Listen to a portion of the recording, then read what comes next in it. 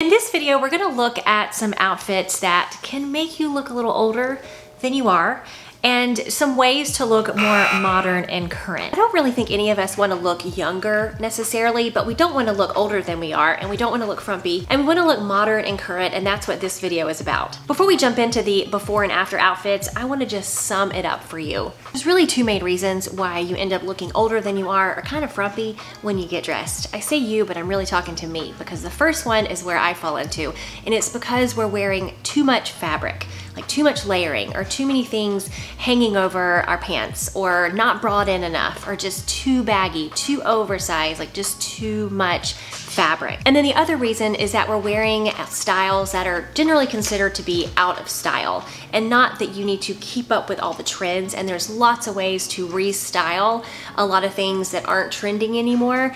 But if your complete outfit is something everyone was wearing and like on repeat five or 10 years ago, it just, it at this point, it kind of looks a little dated. So the first outfit is one that I have definitely been guilty of wearing multiple times in my life probably still wear it sometimes, but it is an outfit that can age you. My before outfit is a top that is currently for sale at Target. It has a crisscross tie in the front, which looks a little dated, and the top itself has a boxy fit and shorter sleeves and really doesn't do anything for me.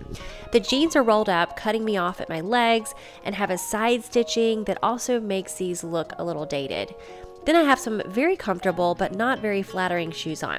This outfit makes me look a little frumpy and ages me. I feel like when we wear this kind of outfit, our goal is to be comfortable, or usually that's what my goal was. And so keeping with that theme, I traded out the top for a green blouse that is also currently for sale at Target, but the style is more traditional and less trend driven. I swapped the cropped stitched skinny jeans for an ankle cropped straight leg jean, and I like this top tucked in, but I do have an alternate coming up. Then I recently found these shoes, which uh, which have all the or orthotic arch support and are very comfortable, but also look a lot cuter. So instead of looking dated and frumpy, I now am still very casually dressed, but I look a little more put together.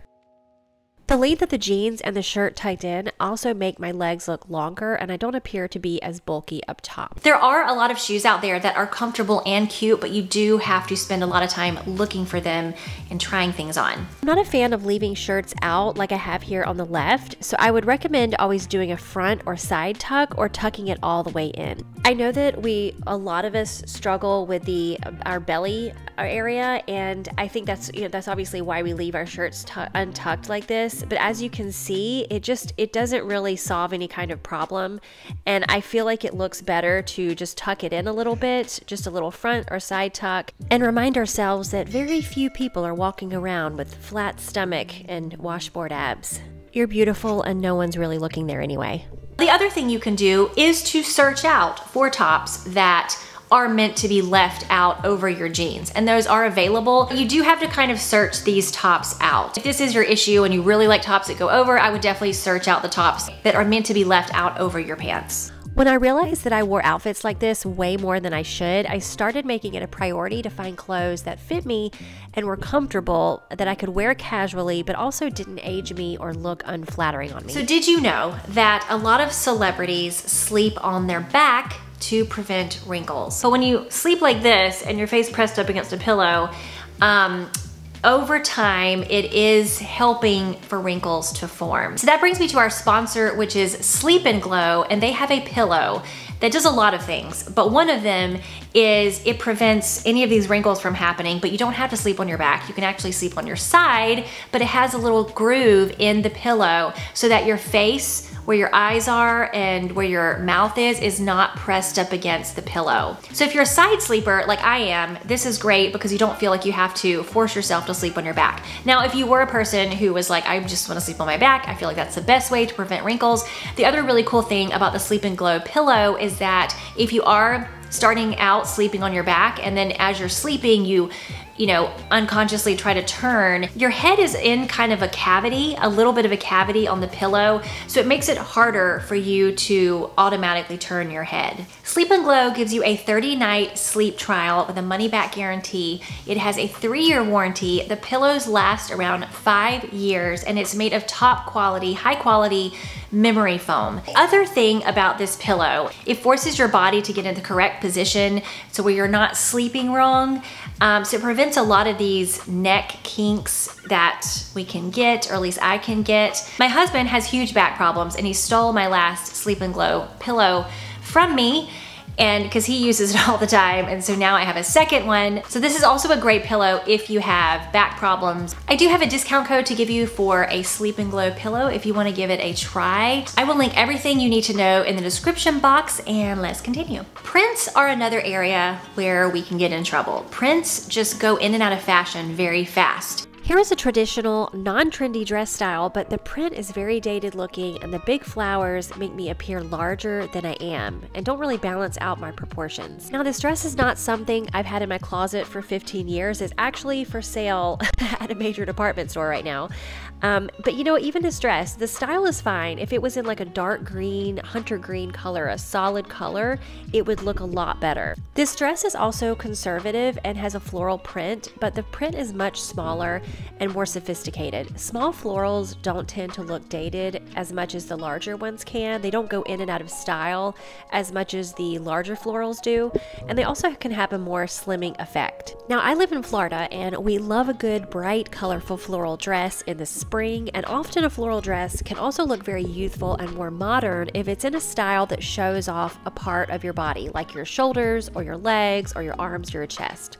Pick a part of your body that you love the most highlight that and cover the rest. Certain prints can be very fun and youthful when they are in a classic print or a print that works for your look. For me personally, I usually gravitate towards solid color dresses because they are much more timeless and sophisticated in a lot of ways. Plus, I know that I won't personally get tired of them quickly. In the age of social media, it's hard to wear a printed dress to two events in the same month, but much easier with a solid color, and I just kind of switch up my accessories. The next outfit I have is another print and also currently for sale at Target. The skirt I have on is in a length that doesn't do anything for my shape and makes me appear dowdy. I appreciate that they added a slit, which you would think would help, but it really doesn't. The print would probably be okay if it were in another type of clothing. When wearing a knee length or a midi length, it can often look more flattering and youthful to have a more fitted skirt, like the one I'm showing here, especially paired with a looser fit top. This would also look more youthful with a maxi length skirt, which are very on trend right now. It's very easy to find maxi length, and a body skimming top or a top that is brought in at the waist. And for me, I love a good mini skirt with a loose fit top that just looks better on me and I like the style a lot better and I feel like it looks a little more youthful. So I actually used to wear skirts almost every day, but in the last year or so, I've really been loving the look of trouser pants and how sophisticated they make everything look. Something about a good trouser pant outfit says, I'm proud of my age and how much wiser I am now, you know? Oh boy, here we go with another top currently for sale at Target and some skinny jeans and my ugly but comfortable shoes.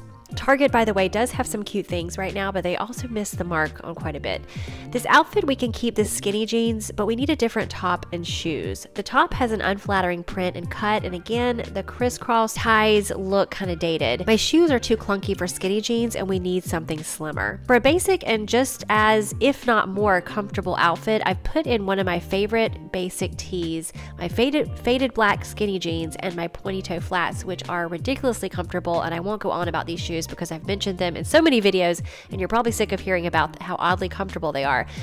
The slimmer shoe pairs better with skinny jeans and makes it look more balanced. Then we still have a loose fit top, but it's broadened at the waist and is a basic tee that will never go out of style.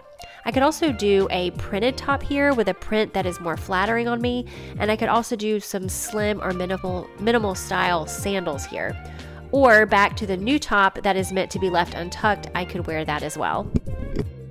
In terms of prints, I think the more safe prints are usually something like a classic stripe, some kind of very tiny print in the fabric. A few more swaps you can make in your wardrobe to make sure that you look a little more classic looking, a little more current, rather than, you know, a little bit dated or a little bit older than you are.